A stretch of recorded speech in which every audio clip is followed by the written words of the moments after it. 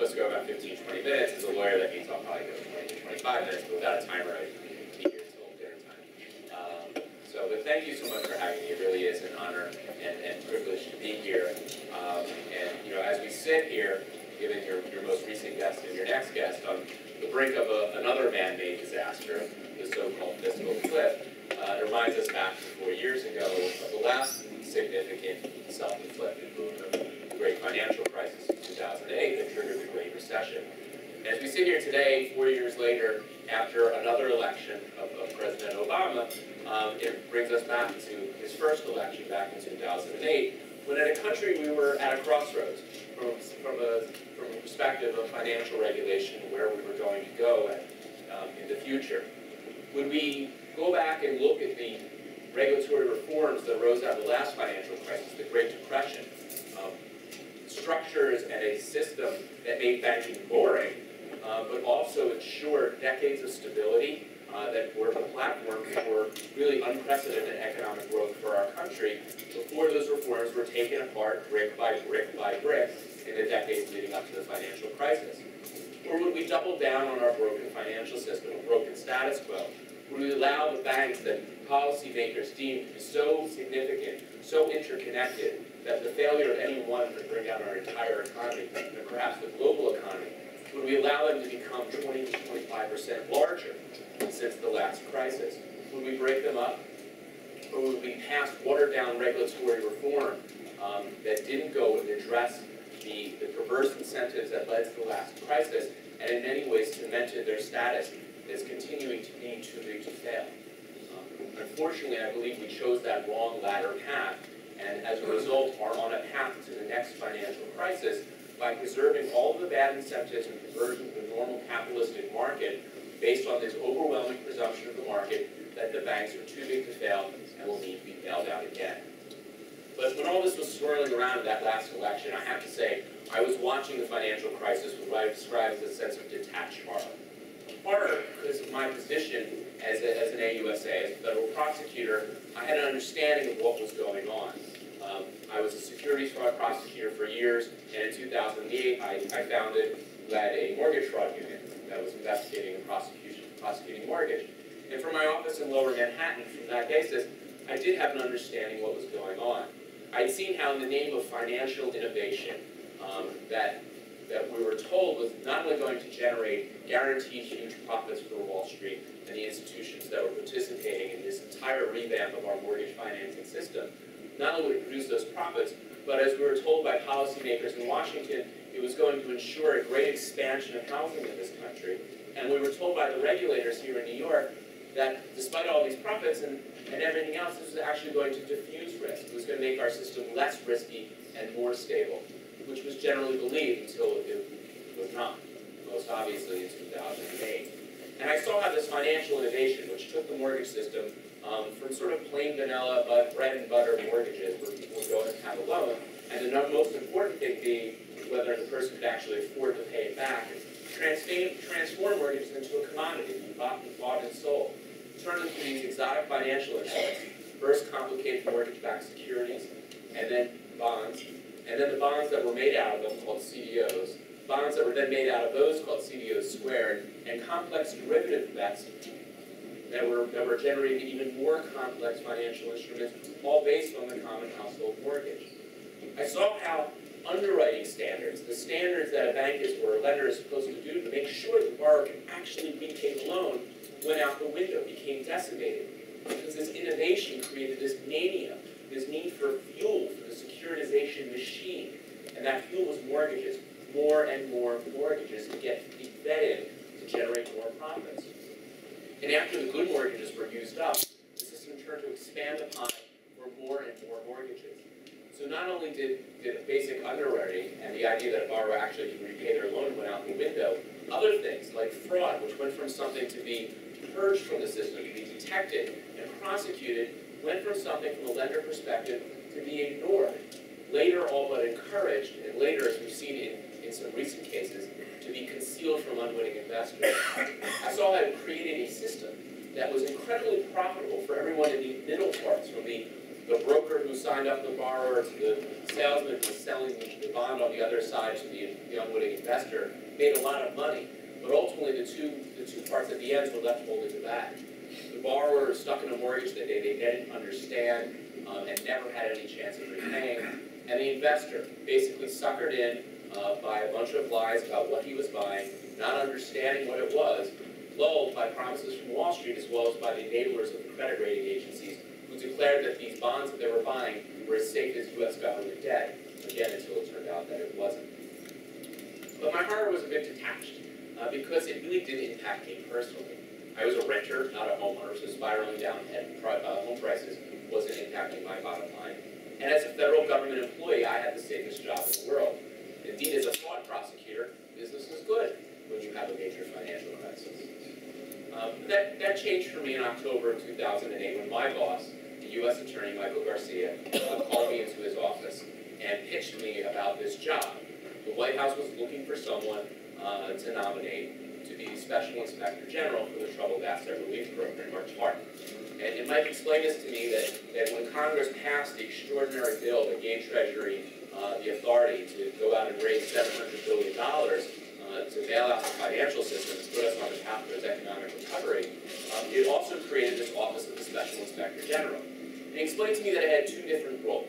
One was a law enforcement function, uh, a mini FBI for the TARP that was, that was, the idea was to cap the criminal flies that would inevitably be drawn to $700 billion of government money. The second part was an oversight function, to provide reports to Congress and the American people and bring transparency to Treasury's administration of this program, to be on the lookout for fraud, waste, and abuse, and make recommendations to avoid losses from fraud, and also to keep Treasury's eye on the ball of the important policy considerations uh, that, that undermine this extraordinary historical effort. And as Mike explained that he was one of was considering putting my name up for the job, which was going to be a George W. Bush appointment and require Senate confirmation, um, I started offering my excuses. I, I, wasn't terribly interested. I as a narcotics prosecutor, I had spent some time dealing with Washington, and frankly, I wasn't really interested in entering into that political swamp by the Potomac. Um, I, he started knocking down my excuses one by one. Um, I was just starting the mortgage fraud group. I had a big trial coming up. Uh, I was getting married in Costa Rica in January.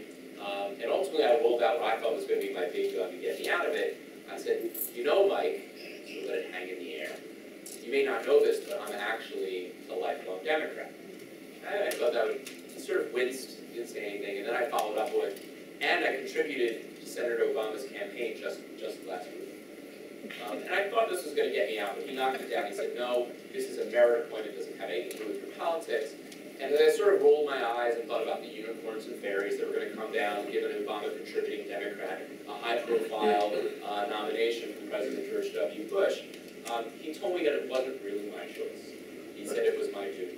And he talked about the sacrifices made by other prosecutors in our office, the U.S. Attorney's Office, comparing it as the economic equivalent of 9-11, and how our, the prosecutors in our office who had specialized in terrorism stepped up on that day, sacrificed days weeks, months, and years of their lives because they had that experience.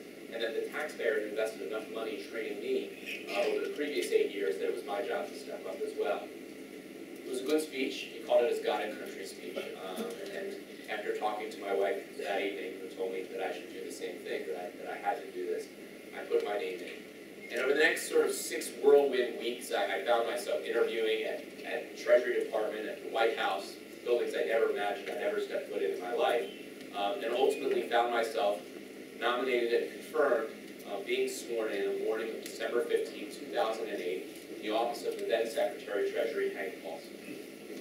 As I had my hand on, on the Paulson Family Bible and taking the oath of office, I assumed my job was going to be that first part, law enforcement. Uh, that, after all, was my entire background and presumably why I was hired to do the job. And I kind of assumed that Treasury knew what they were doing on the other side, the banking stuff. Somewhat naively, I, I realized in retrospect. And then I could help look for fraud vulnerabilities and make a recommendation here and there. I realized very, very quickly, though, that that wasn't going to be the job that I took. I realized almost immediately, I saw the level of deference, the level of capture to the interests of the largest Wall Street banks um, that permeated every decision that was being made by those running the TARP program at, at, at Treasury. It started in the first couple of days when I made what I thought was a not so radical suggestion that we require the banks to actually tell us what they were doing with all the TARP funds.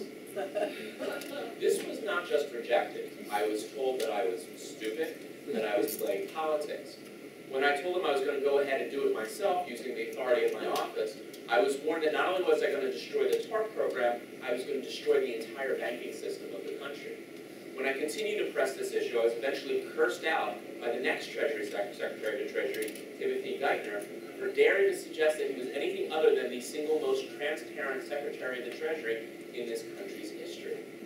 And the words they were saying, they sounded familiar. It was the same words that a lot of the bank executives were saying, defending their lack of transparency. But it wasn't just transparency. As I started looking at the programs and seeing how they were rushed out with no strings attached and no conditions, I saw there were huge vulnerabilities and potential for fraud for the taxpayer, conflicts of interest, um, and other areas. And as I started voicing my objections here, I got a slightly different response. I wasn't told that I was wrong necessarily, but that my concerns were misguided. I was told that I didn't understand that these were banks, and it was almost a figurative pat on the head, that they would never, quote unquote, risk their reputation by putting personal profit over that of the public policy goals of this program. And as they said this, and I really want to stress, this was not a Bush uh, Paulson Treasury official statement only. These exact same words were uttered after the, the calendar turned and after the Obama-Geithner Treasury Department took over. This incredible deference. And, and as they said this, I remember thinking to myself, where have you guys been for the last couple of years? How, do you realize that they've demonstrated that they will put profit over everything, and in particular their reputation? As I looked around the room, I realized where they had come, where they had been. Merrill Lynch, Bear Stearns, Goldman Sachs, Bank of America, Goldman Sachs, Goldman Sachs. They had come from the very same institutions that helped drive the financial mm-hmm. crisis and were now so the beneficiaries of such generous terms of the bailout. And when they came to Washington, and this is not to suggest that they were not patriots who were sacrificing in order to serve their country, but they brought with them that same captured ideology that what's best for the big Wall Street financial institutions is best for the country. And I realized that my focus was going to have to be not just on law enforcement, but on protecting taxpayer interests. And I think over the course of the next 27 months, um, we had a mixed bag of success. I think our successes were in helping to prevent um, losses to fraud. As a law enforcement agency, we've secured criminal charges against more than 100 individuals who trying to profit criminally off of the TARP, including one case where uh, a CEO was doing 30 years in jail for trying to steal more than a half billion dollars from the program. And I think our recommendations, once we got them through on some of the programs, really helped, and I think TARP will be a program with historically low losses uh, to fraud. I think our failures, though, were a lot of the Treasury's failures, and that was keeping the eye on the ball of the very important policy goals that were supposed to be accomplished with TARP money. And I think the, probably the best example of that is the failure of the, of the housing program. Now, just to take a step back and a quick history lesson, um, you may remember TARP didn't sail through Congress at all. There was this original proposal, proposal from Treasury which got batted down. Uh, there was a vote that got voted down again by Congress, triggering the single biggest decline in the Dow uh, average on one day. Um, eventually it got through, but to get through, the Republican president had to rely heavily on, on House Democrats, and particularly some progressives in the House, who were not terribly interested in voting for a bill just for the sake of, of saving the Wall Street banks that they believed were the cause of the crisis in the first place. What they cared about was the foreclosure crisis that was destroying their communities and their districts. So they cut a deal with Treasury. And the deal was that they would vote for this bill, but that the money had to be used not just to bail out the banks, but also for foreclosure prevention, and the exact words that were used in the bill, to preserve home ownership. And there are whole sections of the TARP bill that dealt with this through the preferred method of modifying mortgages uh, for, for struggling homeowners. That promise was made, but was never fulfilled. Although the Obama administration launched a 50 to 75 billion dollar program that was supposed to help up to 4 million people stay in their homes, um, that program never materialized and came close to, to achieving its goals. We're about 20, 22% of that goal today. The program has, has come down to a, a, glacial pace, just a couple thousand a month. And about the same amount of money has been spent on homeowners. All those homeowners were necessary to promise to help them to even get that bill through Congress uh, that has went to American Express, credit card company, a billion dollars. And as we were dealing with this program, the explanation saw the reason why. It was, it was a terribly run program, terribly designed program, um, outsourced to the actual banks themselves, their servicing arms, uh, that were ill-prepared and unequipped to run it. Treasury baked in really significant conflicts of interest, so often it was more profitable for the bank to violate program rules, squeeze out the last few remaining payments out of uh, a struggling borrower, and throw them on the foreclosure scrap heap, than to actually put them through the program and get a mortgage modification, a permanent one under the government program, um, as was its design and intent. And this came to a head for us, when we were pressing at an oversight meeting that we had with Secretary Geithner. Uh, I was there as well as Elizabeth Warren, who was then the head of uh, a sister oversight agency, the Congressional Oversight Panel, now of course is the senator-elect from Massachusetts. And she was pressing Geithner pretty hard on how it was this, this terribly important program was ever going to meet it and Congress's original goals.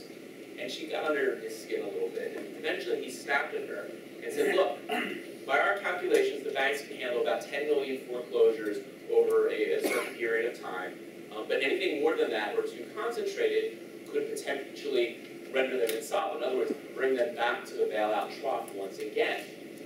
This program, the mortgage modification program, he explained, would be effective because it would help, in his words, foam the runway for the banks. In other words, extend out the foreclosure crisis um, so that, in the words of another Treasury official, the banks could burn their way out of it by benefiting from the other bailout programs uh, that were very bank-friendly, very bank-centric, and helped juice their profits to bring them back so that they could, as they did in 2010, pay record bonuses. And we realized that this program, the one program in TARP, that was supposed to be fulfilling that goal of preserving homeownership and helping Main Street was just another backdoor bailout, just another form of serving the interests of the largest banks. And it's the failure of this program, the failure of other TARP goals, is one of the reasons why I believe TARP overall has been a failed program. Um, now, when I say that, people say, well, gee, didn't it save the banking system? Isn't that what it was supposed to do?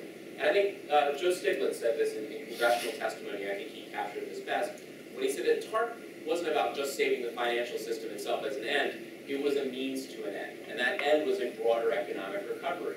That's why the goal for preserving homeownership. The other goal stated by Treasury, when it justified putting hundreds of billions of dollars directly into the banks by, by buying their stock, was done to uh, increase or restore lending, a policy goal that had absolutely no policy mechanisms. There were no requirements or even incentives to accomplish that goal, and as I said before, a hostility towards transparency and accountability that might help achieve uh, that policy goal. And as to preserving the financial system itself, as I mentioned in my opening comments, what is it that we really saved? A broken status quo uh, where the biggest banks have gotten 20 to 25% larger, and all of the normal functions of capitalism, which would bring discipline to these banks, which would discourage incredible risk-taking, uh, which would discourage razor-thin capital, which would discourage opacity uh, in their disclosures, um, all of which has been removed by the continuing presumption of bailout. Um, and I do believe that as a result of TARP and our failure to address these problems, that we are on the road potentially to an even bigger, more significant financial crisis uh, in, in the future. So before I open up the comments, let me just offer my, my suggestions. I should do that after depressing 18 minutes. Um, I, I, think first of all, we need to do what was suggested during the debate for regulatory reform of Dodd-Frank, uh, which had some bipartisan support before it was defeated by the Treasury Department, um, and take measures to break up the largest banks. And whether that's going back to some of the, the, the Glass-Steagall or the Great Depression era laws, um, as some have suggested, whether it's size caps, uh, as others have, uh, and above all, increasing the capital that banks are required to have so their shareholders bear the losses, not us, the taxpayers, um, or a combination of all three. Uh, I think we need to address the political and economic power that comes with being too big to fail uh, if we want to prevent another economic cataclysm. Uh, but on the other hand, we also have to deal with the regulatory side of, of, of the picture and the capture of, of government officials particularly those agencies that face off with Wall Street. Um, I wasn't supposed to do too many anecdotes, but let me just add with one that I, I opened my book up with, because I think it really does capture, if you will, uh, the inherent problem we have in our, in our regulatory system. Um, I didn't get along too well with a lot of the Treasury officials, and I had a particularly bad relationship with whoever happened to be running TARP at the time. Um, and the person I was dealing with most of the time there was was was Herb Allison, uh, had a, a sort of legendary Wall Street career as president of Merrill Lynch, um, and, and came out of retirement um, to uh, basically again very patriotic act, first to help with Fannie Mae, and then to serve as President Obama uh, appointee to run the TARP program. And, and we sort of went at it from day one. Our weekly meetings have devolved into to shouting matches uh, over a variety of topics. And eventually we agreed that we're going to have a drink to try and clear the air. Uh, and we met at Rose Washington restaurants. And after some chit chat about our families, and he talked about his sons who were grown, I was talking about my daughter who was about to be born. Um, he, he asked me what my plans were, what I was going to do next, because SIGTARP by its very nature is a temporary agency. And I explained I hadn't really thought about it. He said, well, maybe you want a job on the street, Wall Street. He said, you know, I really can't think of those things. He said, well, what you're doing here, he, he warned, you're doing yourself real harm. And he talked about my harsh tone towards the banks on Wall Street, as well as some of my criticisms of the Obama administration. And he explained that I was doing myself some real harm in my prospects of getting an additional job. And I told him I wasn't really sure if I was interested in Wall Street, I didn't, really know. He, he pressed, he said, well, what about um, something in the administration? Maybe a, a federal judgeship from, from the Obama administration. And I said to him, well, gee, geez, what lawyer wouldn't want to be a federal judge? But I didn't think it was likely given the, my criticisms. And he said, well, it doesn't have to be that way. All you need to do is your tone, being a bit more upbeat in how you're addressing these issues, and all of this can happen to you. And I left that meeting, I was really mad, I saw red. I called my deputy, who had come down for me from the U.S. Attorney's Office, and we had prosecuted narcotics traffickers together, and I recounted him sort of word for word the conversation I just had, and he jokingly compared it to Pablo Escobar. He said, you just got the gold or the lead. And what he was referring to in Colombia, Pablo Escobar, the kingpin, the way he corrupted local government officials was to offer them one of two choices. A giant bag of pesos, the gold, uh, or a bullet in the head, lead. And Kevin joked that I had just received the white-collar Washington equivalent. Um, and I believed that for a little period of time. But I realized later that's not what happened at all. Um, what Herb was doing was he was just telling me the reality that faced that I faced and so many regulators face in Washington. If you're aggressive, and especially when you face off with Wall Street, if you're aggressive and you do your job effectively, you do risk doing severe harm to your personal prospects and career. However, if you go along and get along, uh, pull your punches, you can cash in potentially at that big pot of gold at the end of the Wall Street rainbow or move up within the administration. So I think to deal with our problem, not only do we have to deal with the banking side, but we have to deal with the regulator side. We have to address the revolving door between Washington and Wall Street. We have to change the incentive structures at our regulators um, so that it actually, the incentives align with being aggressive and being good regulators uh, as opposed to going along and getting along as, as the advice I was So with that, I'm happy to engage in the discussion. I think I went uh, three minutes. So, um, it, breaking up the banks, um, don't we have to work with this in a local context? Um, and what other banks really have no significant losses. They're also not major corporations in any sense as compared to the American, British, the French, and German banks. Um, because they're much smaller, they're much more restricted in what they can do. So how do you answer that? And do you think your, your best suggestion was raising capital requirements um, and margin requirements for a lot of these exotic securities is probably a whole lot better than a lot of esoteric regulation? Um, I, first of all, I, I agree that, that simple is better. And I think that one of the problems of Dodd-Frank is its complexity. And, you know, my, my perspective on complexity, I think that on one hand, the, the, the challenges are that all this complexity creates a lot of cost. And look, as a lawyer, that's not, that's not the worst thing. Uh, you know, to require a lot of lawyers and accountants to deal with this. But, but I think that, that, that is a, a fair criticism. The other side of the criticism is that the more complex it gets, the easier it is to gain. Uh, and the true intent of that regulation uh, gets watered down and beaten. And it's one of the reasons why I think Dodd-Frank will not, has not achieved uh, its ultimate goal of ending the era of bailouts, as we were told. Um, But on the international competitiveness, um, this is, a- this is a very front and center argument, and so let me respond in a couple of different ways. First of all, one of the, one of the, the- the characteristics of this international competitiveness argument, and the way this goes is that, well, gee, look at the giant European banks, look at the Asian, giant Asian banks, um, we won't be able to compete if we don't have that same size and scale. And this was actually articulated recently in a, uh, a note from a, a- a Deutsche Bank analyst, and he talked about the fact, look, the largest these large banks, these universal banks, we have reduced cost of funding. Um, and that's one of the things that we would lose if we were broken up. And that's, I think that goes a lot to the core of this argument. The reason why the large universal banks and why our too big to fail banks have reduced cost of funding is because of the presumption of, of bailout, of the government guarantee. The idea that if they get into trouble, the taxpayers will bail them out. Um, the example I use in my class is, you know, when we go into a bank and make a deposit, at least you know, me and my students, we roll over the FDIC limits. You know, we don't really worry about the bank's risk profile. We don't worry about how much leverage it has, whether it's off balance sheet, uh, you know, might be, be hidden in its things.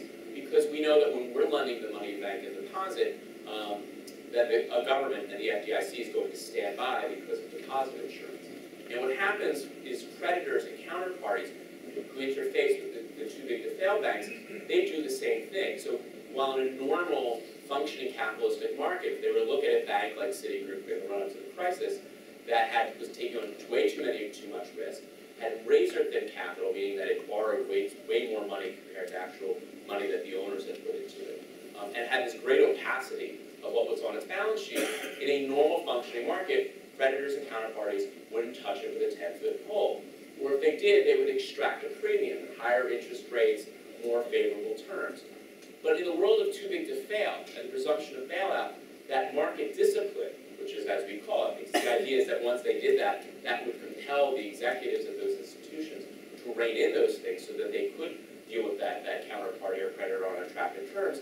The presumption of bailout takes that away, because the presumption is, is that the government will step in and bail out the creditors like we did over and over again in 2008. And it's the removal of that discipline um, is what creates risk, but also gives that funding advantage, because it actually works out that the banks are able to borrow money on more advantageous terms. So when I hear this international competitiveness argument, part of it is saying, hey, these large banks in Europe, they're being subsidized through the implicit guarantee by their governments, because it's very clear that a bank like Deutsche Bank will never be allowed to, to, to fail, no matter how bad the risks or its bets are. The German taxpayers would, would have to come in and bail it out, no question. And the same with these other large banks. So they're getting this subsidy, this advantage over everyone else, because they're essentially a subsidized industry, and if you make us not too big to fail, we're gonna lose that subsidy as well. And this is not a modest subsidy. Academic research uh, estimates that it puts it at tens of billions of dollars a year of a free subsidy that the largest banks get uh, at us, the taxpayers, benefit.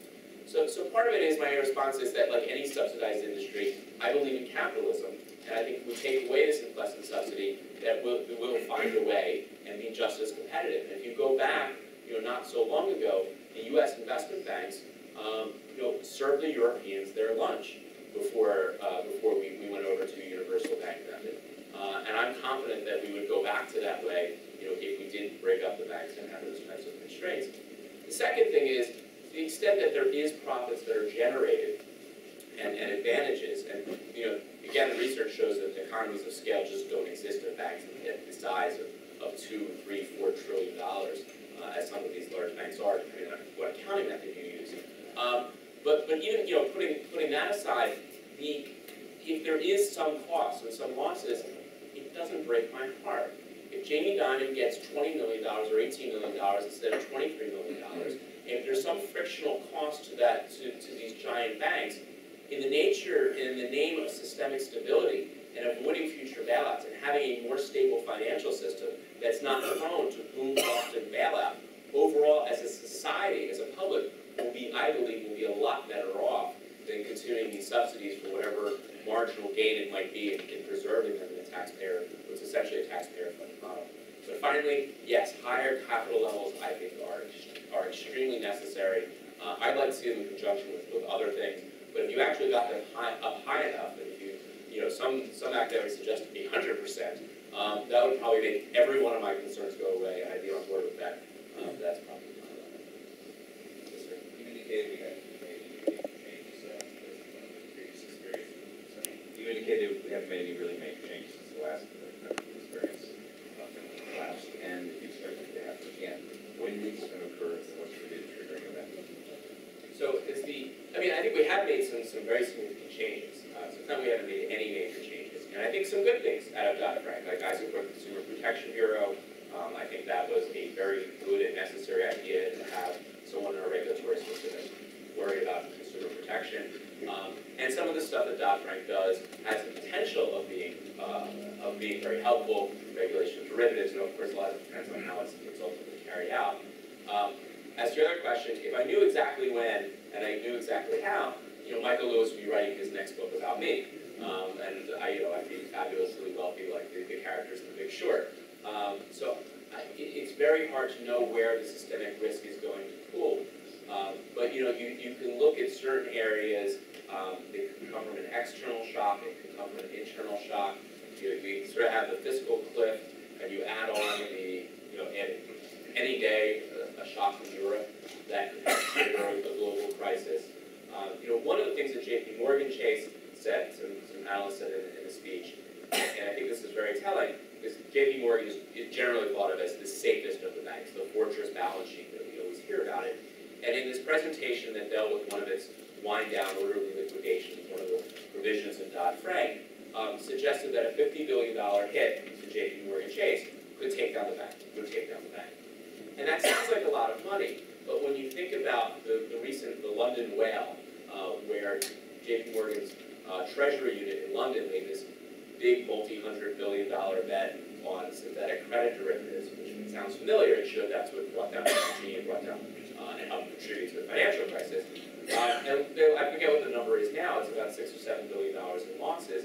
And this was at a time when there was no dislocation, there was no shock, it was just a bad bet that its counterparties figured out and really put the screws to them on.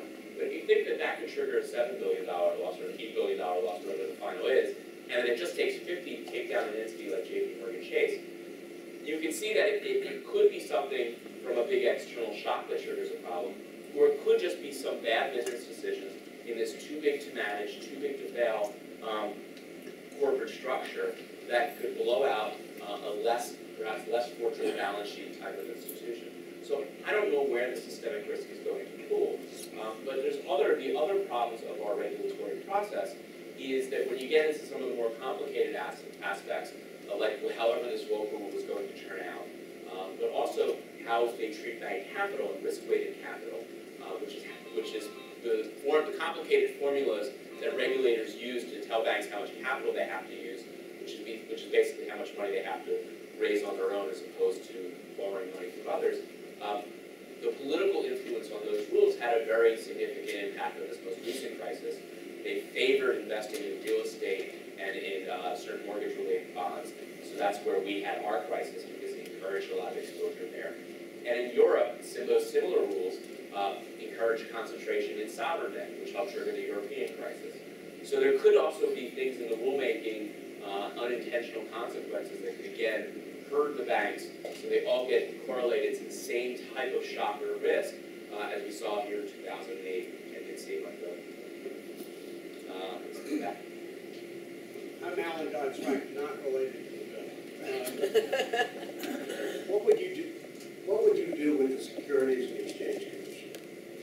Um, you know, I think that looking at where the SEC is today, uh, compared to where it was when I got to Washington in 2008, you know, I think the outgoing chairman, Mary Schapiro, has done some significantly good things for that agency. It was an agency that was on the ropes.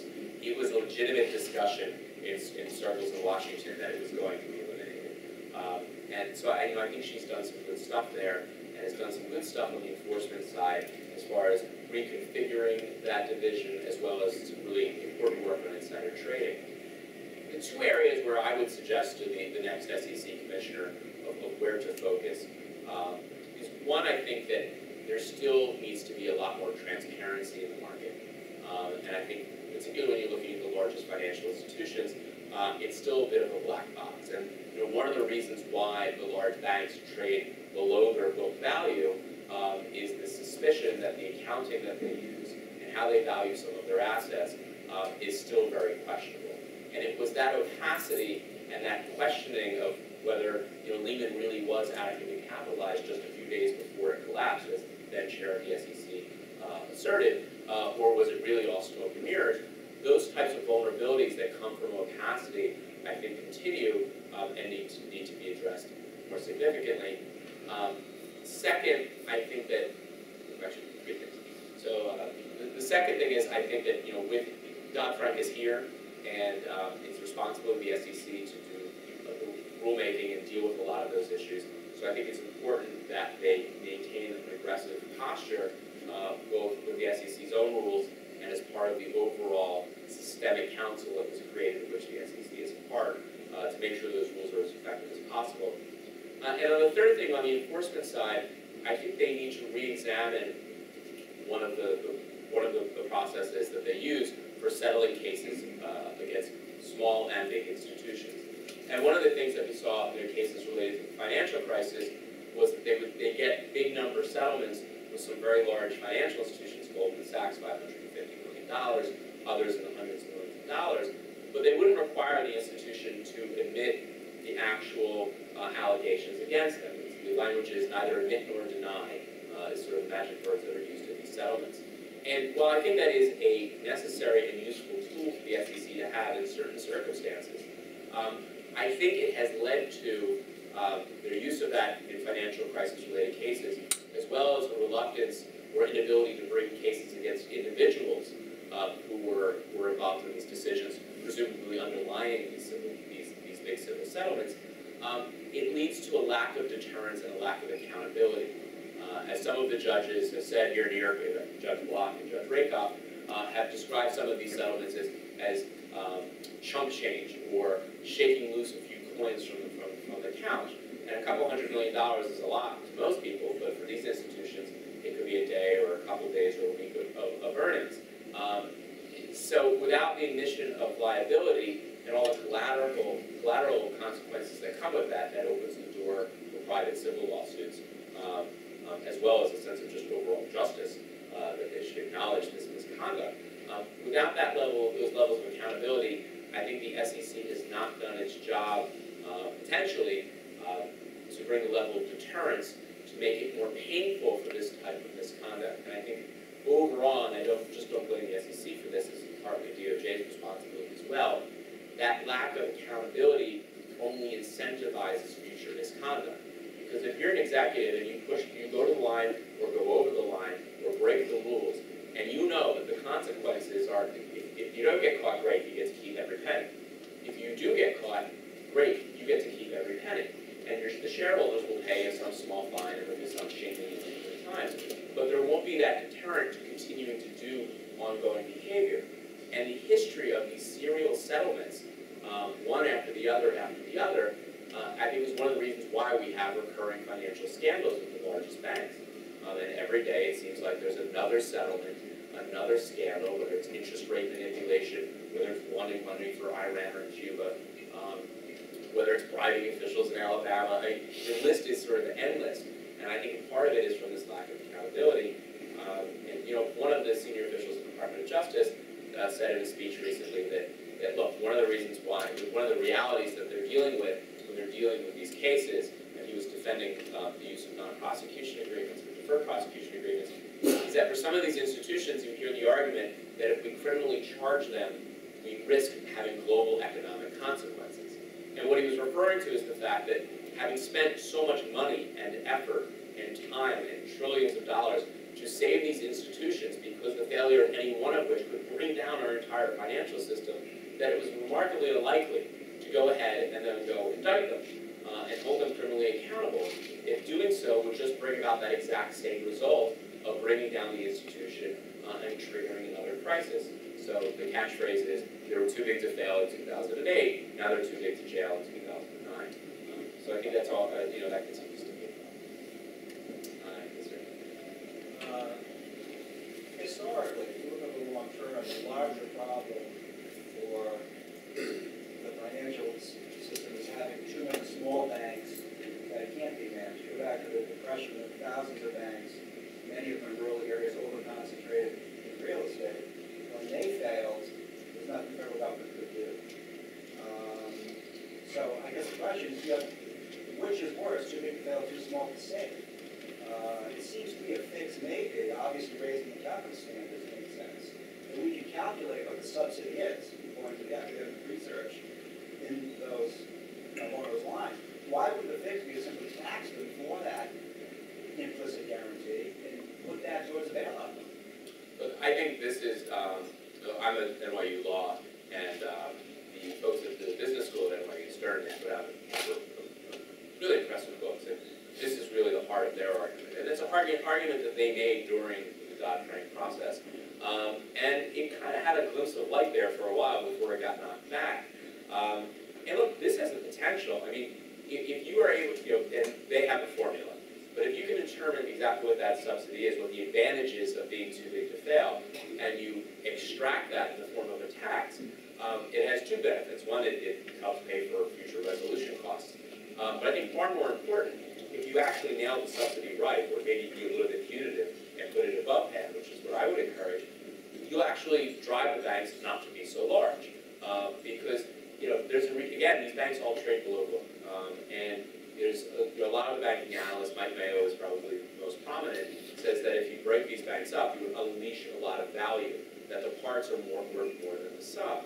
Um, and I think this is why Sandy Weill, you know, the original Dr. Frankenstein who helped create the monster of Citigroup and these, these, these, these other, has come out and also in favor of breaking up the banks, is, is again to unlock that shareholder value. And I do think a suggestion like that um, would also have, so we would do that, it would also put it in the bank executives' own, and the shareholders and the board's determination of where to eliminate businesses and, and how to shrink as opposed to the government coming in and say, get rid of this business, get rid of that business. Um, so I'm not against it. Uh, I'm, you know, I think that there's, there are many, many ways to skin this cat. Um, and it, I think that would be a, um, a good one. Uh, unfortunately, it was another one that sort of had a little bit of life during the process, but eventually. um, Could you mix that with either or, do that or increase capital requirement? I like to, I do them all. I'll do all four, five, six, you know, come up with some No, more. I mean, could this be, you either pay the tax or you, you carry capital at a higher level? The, the problem is that the more complex your system, the more vulnerable it is to being gamed. Um, and, you know, even size caps, which I was talking about, even a glass, bringing back a form of Glass-Steagall, is always gonna have that vulnerability. So if you have size caps, then you're gonna have a, a huge debate on how you calculate size, um, and what counts towards size and all of that. When you talk about capital requirements, we go into this, this horrible world of risk-weighted capital, risk-weighted assets, um, which is subject to tremendous gaming. Um, so I think, you know, for all of these things, you can get there, but you need to, I, I believe it's important to have very simple rules. So Tom Hoenig, the vice chair of the FDIC, wants to get rid of risk weighting entirely and just go with pure leverage ratio, which means, you know, every dollar is worth a dollar. Um, so, so I think, yeah, I think, you know, we can be creative. I think the key political moment is to get over the hurdle of, of, of the, of saying that we need to have this universal bank method. I mean, once we get to the point of the debate where we're talking about how to break up the banks, how to negate the implicit guarantee, government guarantee, and all the bad incentives that come with it, um, we've, we've, we've already achieved a pretty significant victory. Yes, sir. Why, why did some of the former CEOs go to jail? Zillows, Stanley O'Neill's, full, you know, why, why, why, why are they not in jail? So I think, I think uh, it, it's a tough, it's a, it's, it's a, it's a good question and a tough question. Um, and depending on who you ask, you get all sorts of different answers. Um, you know, the, the Department of Justice will tell you these are complicated cases and, you know, it's not so clear and there were a lot of disclosures.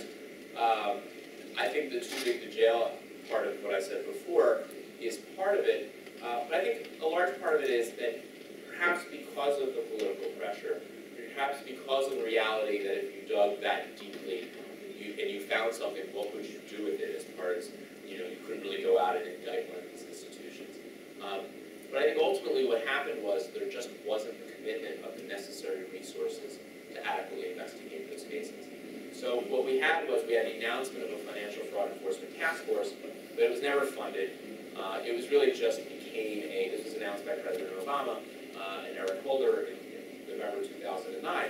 And look, I'm speaking here from, a, from experience, I was a working group leader, coordinator, I was one, in charge of one of the five, five groups. It, it was just a press release repository, uh, everyone did their existing cases, and then when they'd come out, they would say, this is an action of the Financial Fraud Enforcement Task Force, and it was political, politicalization of, of the process at its worst. Um, but, but there was never the dedication of resources, of, of resources specific to just investigating these cases with this goal in mind of, of trying to determine whether there were charges or not. So what you had instead was during a time of, of recession, of huge hiring freezes in the Department of Justice, of, of limited resources, um, you had the existing U.S. attorneys and the existing components of justice um, saying, okay, go do this, um, without that necessary resource, without those necessary expertise. And that creates a really impossible decision. Um, so here, my former office, you know, was in the midst of a massive insider trading investigation that consumed a large part of the securities fraud unit. Um, and it's hard if you're the U.S. attorney to say, hey, look, you need to take your resources away from this incredibly significant investigation that's, that could potentially lead to having a director of Goldman Sachs locked up for insider trading, which has happened. Uh, one of the biggest hedge fund players in the world locked up.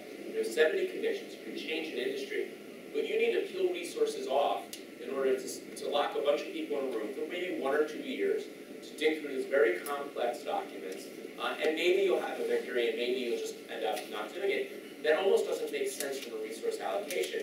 And I think that was replicated within the Department of Justice with constraining resources and reducing resources, not increasing resources to this. So I, I think that in order to have really gotten to the bottom of it, we needed to task force it with dedicated resources. I think we would need to staffed that task force with experienced folks who have had experience doing large accounting fraud cases, an area where DOJ has suffered in recent years, uh, in part because of the reallocation of resources to counterterrorism in the aftermath of 9/11. Um, so I think it's a lot of those types of, of, of, of things. There's no simple answer, uh, a lot of complicated answers. Yes, sir. Uh, Who in Congress uh, are champions of your point of view? And can Carolyn Maloney, who represents this district, is on the banking committee, uh, be doing anything uh, to pro- promote what you're talking about? So for us as an agency, um, as I described, we had a little bit of hostility within the Treasury Department. Um, but we, our ability to affect change and our ability to blunt some of these programs, and one of the reasons why I believe the department had such small losses to fraud, um, was our relationship with Congress. And, um, you know, I found that a number of members of Congress were very, very supportive, were, were advocates of strong oversight. And the names um, were really bipartisan. Uh, there were Republicans who helped us, and there were Democrats who helped us.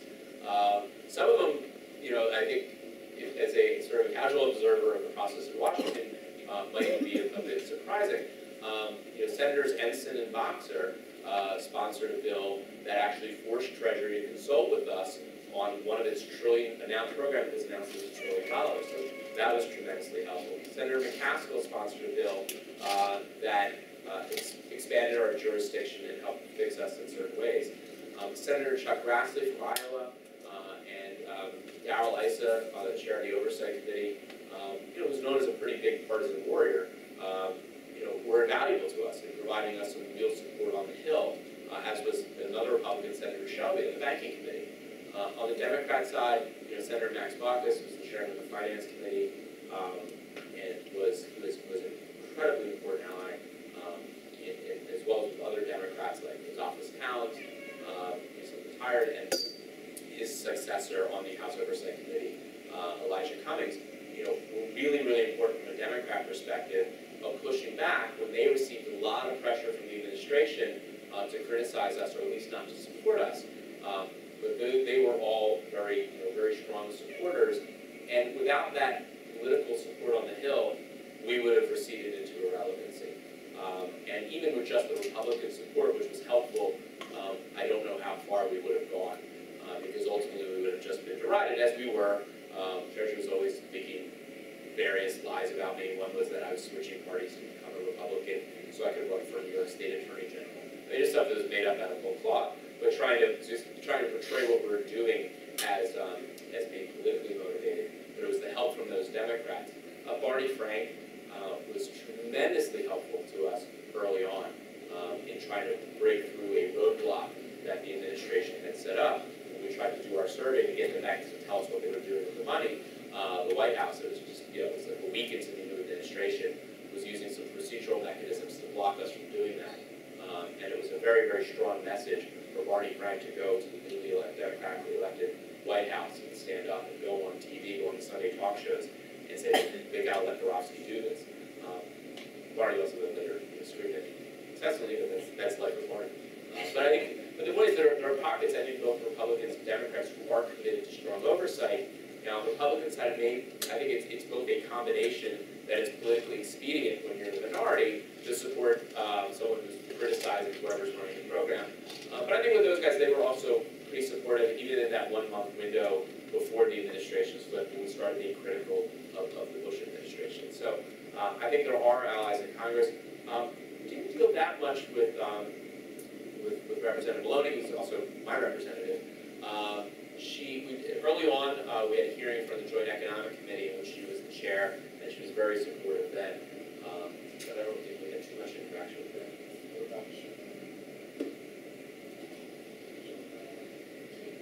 What about New Jersey, Connecticut, New York, Senator? Um, Senator Schumer was, was, was pretty supportive earlier. Uh, he uh, announced my nomination. Um, I didn't really have too much interaction with Senator Gillibrand. Um, but really the other, the rest of the, the tri-state area, um, senators, you know, we'd reach out to them and sometimes we'd get a meeting, sometimes we wouldn't. Um, but Senator Schumer, especially early on, somehow they got my cell phone. Um, and if you've ever been on the receiving call of a Senator Schumer phone call, uh, they're quick.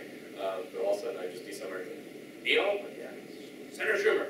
And he'd sort of work out something. But, uh, but he was, he was, especially early on, when we were sort of really getting the ground beneath our feet, he, he was, he was pretty helpful. Uh, I'm wondering, uh, Dr. Fence brought up the, the uh, cover photograph of Jamie Dimon at JP Morgan. Are you concerned about, um, John Green, Treasury Secretary? I would say, let me put it this way, I'd rather have another four years of Geithner. Uh, Look, I don't know how you take the job, I think he's got more power in Washington as the CEO of JP Morgan Chase than he would as Treasury Secretary, uh, and certainly a, a kinder treatment from Congress, uh, given his So Regency, Dimon, is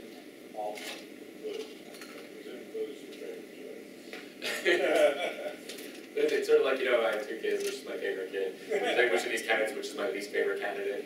Uh, it'd be, it'd be, it'd be hard to rank, but, you know, it's one of those decisions that I most certainly will have no impact on the decision. If it was my choice, it'd be Sheila Bair in about two seconds, without, without even hesitating. She's the person who I think, um, uh, you know, of, of, of the regulators, the, the high-level regulators I dealt with.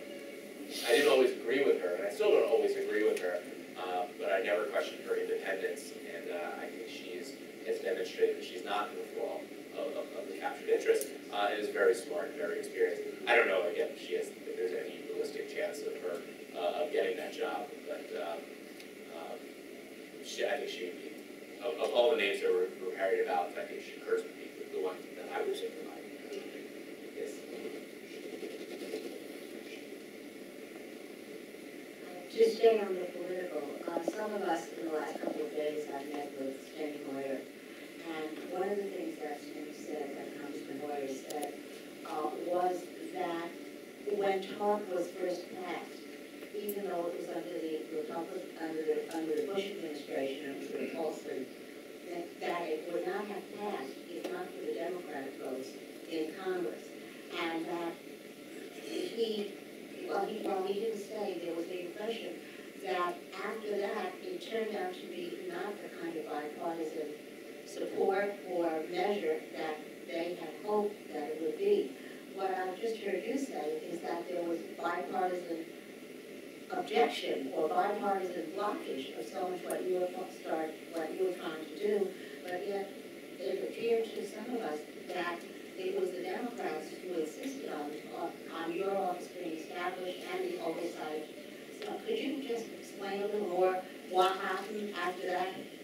Sure, so, you know, our office got established because Max Baucus was the chairman of, of the finance committee, and Chuck Grassley, who at the time was the ranking member, insisted on it.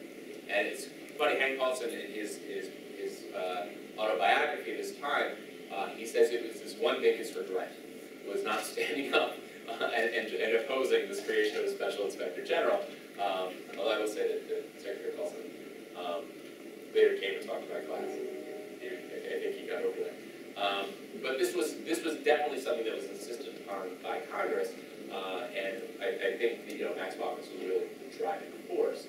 Uh, so there's no question about that. Uh, and one of the things I read in the book, this is kind of funny, is just sort of give you a character of Washington, is that his senior staffer, um, who we met with, dealt with a lot, um, when I first got there, it was December, it was still the Bush administration, he said to me, you know, Neil, we're your biggest fans, anything we can do, we have you, we'll have your back, we insist on you, very important to us, until January twentieth, in which case you're dead to us.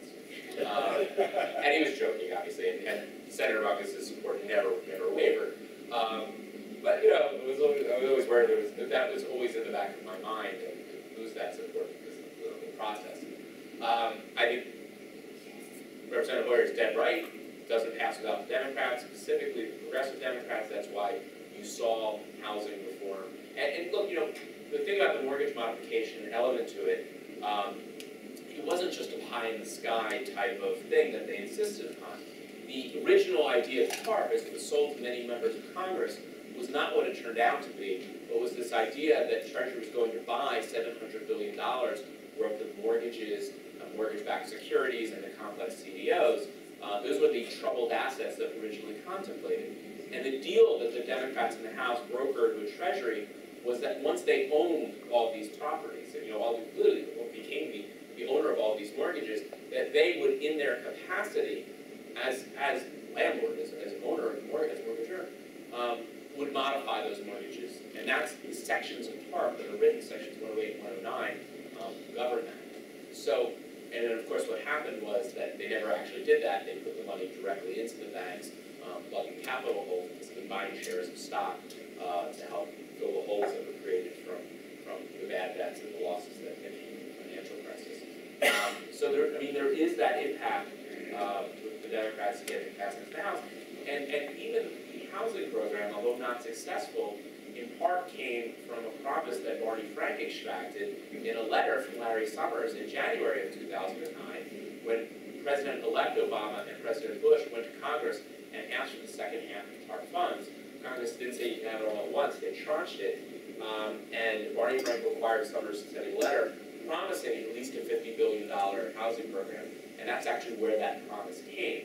So there was always this tension um, between Congress and the executive, but also tension between Democrats in Congress and the Democrats in the administration, um, because they too, and I think, and frankly, the Republicans I was dealing with when dealing with the housing program, for example, were angry because they were just angry that they thought it was a big waste, generally speaking. But much more angry were the progressives that I would deal with in the House, uh, and some in the Senate as well, who really felt like they got bait and switched, that their vote was, the reason why they voted for this was because of foreclosure mitigation. Um, and they feel like, they, they felt betrayed when, when Paulson sort of changed the rules and, or switched course and didn't buy the assets.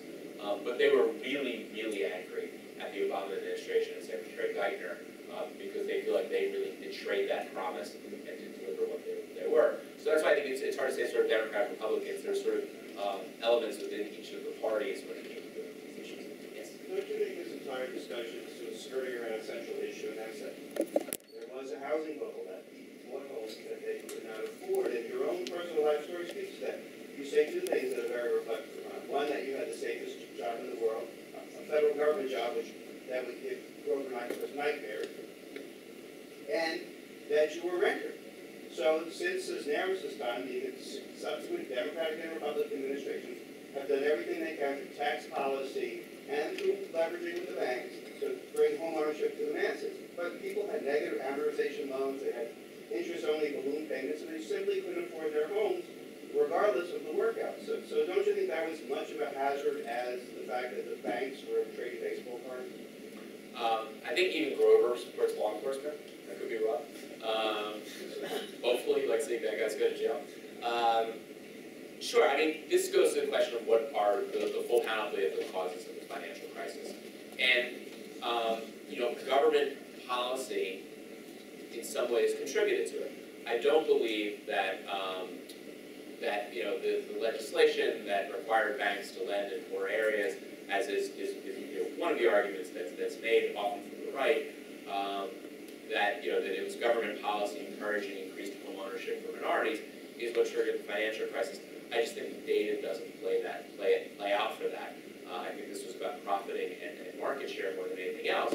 But on the other hand, there's no question that the GSEs, Fannie Mae and Freddie Mac, whether they did it because of the government purpose of expanding home ownership, or they did it for market share or profiting, I mean, these were government-sponsored enterprises, and they were a huge demand for the subprime uh, mortgage securities, the, the AAA sections of the CDOs and the, uh, and mortgage-backed securities, uh, that helped trigger this mania for more mortgages.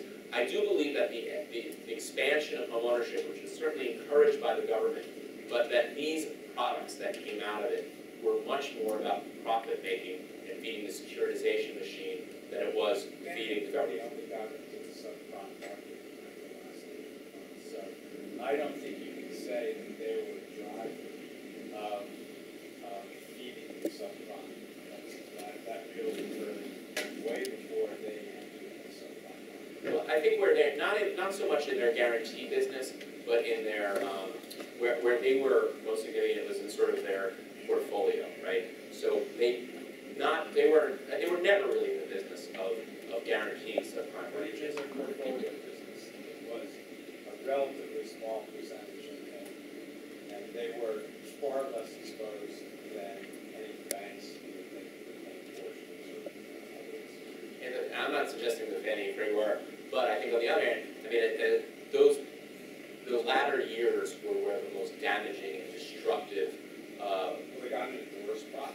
Right, but also, eh, I think they were one-third of the purchases of, of the AAA rated portions of these things at a time when it was really pushing down of the worst types of products. And I don't blame Fannie and Freddie for the financial crisis, um, but, you know, that demand, if that demand wasn't there, we still would have had a financial crisis, we still would have had a real estate bubble, but it might not have been as severe. So I, I, I think that, you know, it, it is, that there is an element of, of, of responsibility. But to me, the overwhelming part of, of responsibility for government was the regulatory lapses. Uh, and the failure to, uh, enforce the types of consumer protection, uh, the steps taken by Treasury Department to, um, uh, basically kick the state attorney generals out of enforcement through preemption, uh, which just saw an evaporation of, of, of, of the types of governors that you would have on the system that allowed a lot of predatory lending and expansion. Uh, you had a federal regulators who were very much on board with this concept that this financial innovation was going to reduce risk. Uh, you had Tim Geithner saying a speech in his latest March of 2007 to talk about how it's diffusing risk CDOs and credit default swaps. Um, so I think that there was a, and you sort of have this mania of deregulation, um, and I think all of so I, I do blame the government and regulatory apparatus, although perhaps, not perhaps exactly in the same way that you would, um, but I think it, it, it contributed. No, thank you very much, it's been most informative. I know,